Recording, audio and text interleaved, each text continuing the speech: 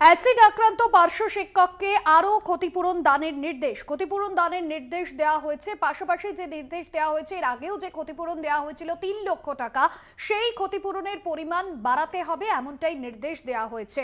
পার্শ্ব শিক্ষক, অ্যাসিড আক্রান্ত পার্শ্ব শিক্ষককে ক্ষতিপূরণের নির্দেশ এবং ক্ষতিপূরণের নির্দেশ কলকাতা হাইকোর্টের তিন লক্ষ টাকা ক্ষতিপূরণ প্রাপ্তির পরেও এই নির্দেশ কলকাতা হাইকোর্টের।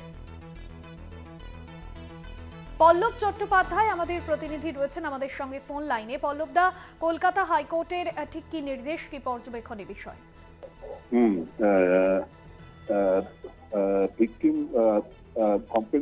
কম্পেনসেশন অনুযায়ী সর্বনিম্ন ক্ষতিপূরণ কোনো অ্যাসিড আক্রান্ত পেতে পারেন তিন লক্ষ টাকা।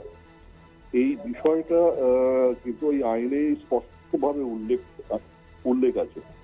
সেইটা বিচারপতি সব্যসাচী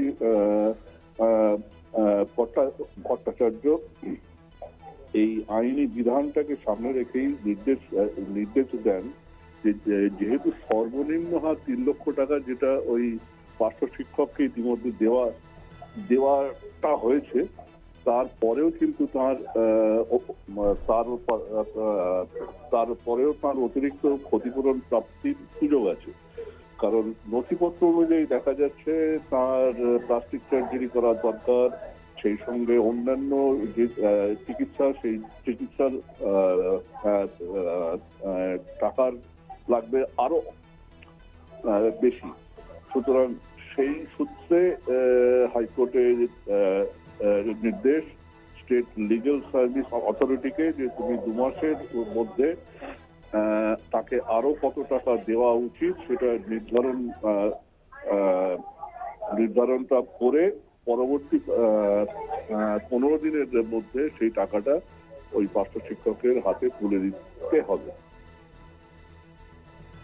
একদমই। ধন্যবাদ জানাব পল্লব দা। পল্লব চট্টোপাধ্যায় আমাদের প্রতিনিধি ছিলেন ফোন লাইন।